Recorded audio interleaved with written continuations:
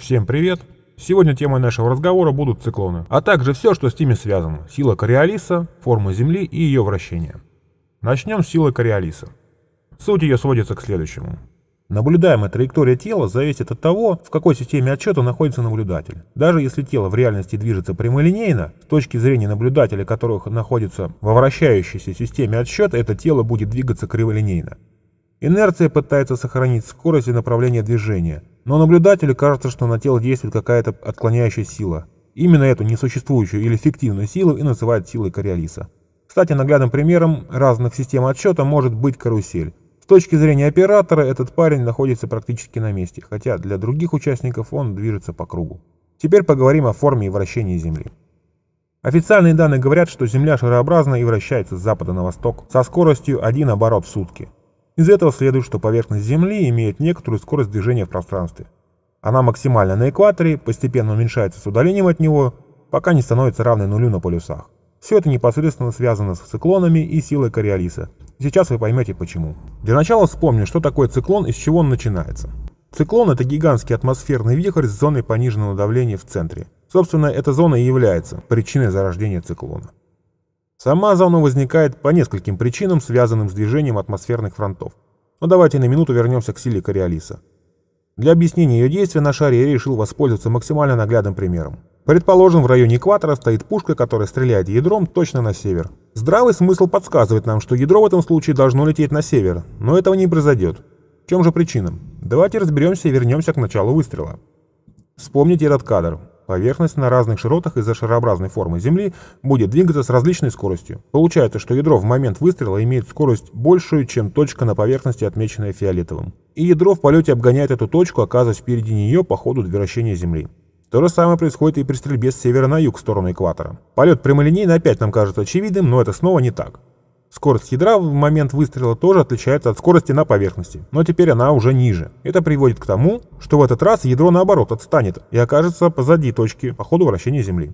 К чему это все приводит в итоге? А вот к чему. Вместо такой траектории тела мы получим такую. Ну а теперь снова вернемся к зарождению циклона.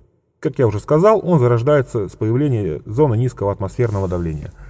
Окружающие массы воздуха будут стремиться заполнить эту пустоту. Но так, напрямую, у них это сделать не получится, да, этому мешает сила Кориолиса, работу которой я описал чуть выше. Воздушные потоки из-за действия этой силы будут чуть отклоняться, как показывают стрелки. Все это приведет к тому, что образуется круговой вихрь, вращающийся против часовой стрелки.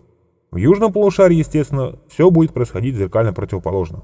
Но это еще не все. Снова вернемся к скорости вращения поверхности. Как вы можете заметить, получается, что скорость с удалением от экватора уменьшается неравномерно. Сначала медленно, потом значительно быстрее. Так, разница между скоростью на экваторе и на 20 параллели отличается всего на 6%, между 40 и 60 параллелью целых 37%, хотя расстояние между ними в обоих случаях одинаково. К чему это должно привести? К тому, что чем дальше над экватора, тем сильнее будет отклонение от первоначального направления. Иначе говоря, чем дальше от экватора, тем сильнее сила Кориолиса, и на экваторе она вообще равна нулю. Как это влияет на циклоны, давайте посмотрим. Итак, вот наш первый зародившийся в тропиках циклон. Но, как я уже сказал, сила Кориолиса растет с удалением от экватора. Это приводит к большему отклонению потока воздуха и в итоге к увеличению размера вихря. И в целом общая картина на глобусе должна выглядеть примерно вот так. И все, что я сказал выше, можно свести к нескольким пунктам. Первое. Циклоны всегда вращаются против часовой стрелки в северном полушарии и по часовой в южном.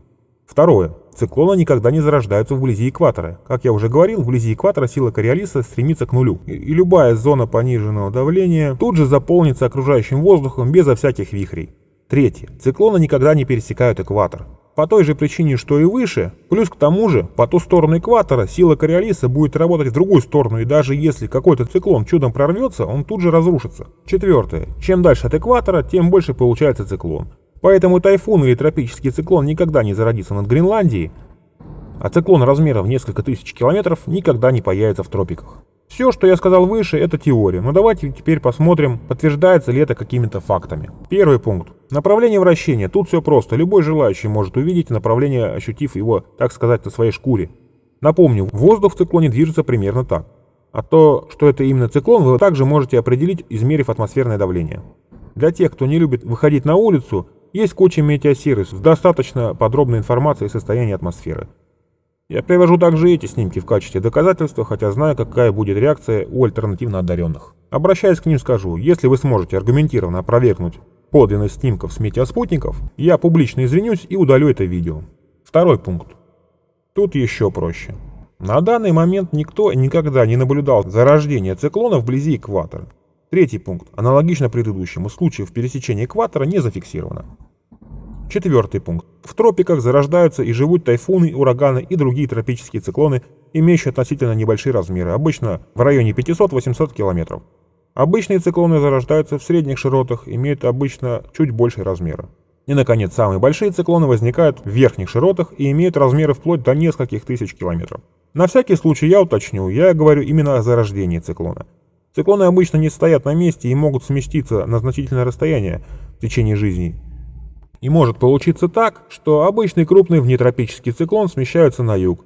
Там он в зависимости от некоторых факторов может трансформироваться в тропический. И такое случается довольно часто. То же самое касается и ураганов, и тайфунов, которые тогда забираются в более северные широты. Итак, все четыре пункта подтверждаются на практике. Выводы, как всегда, я предлагаю вам сделать самостоятельно. На этом я хотел бы закончить. Надеюсь, видео было полезным для вас. Адекватным и разумным зрителям спасибо за просмотр. Альтернативно одаренным удачи в попытках все это опровергнуть. Всем спасибо за просмотр и всего вам доброго.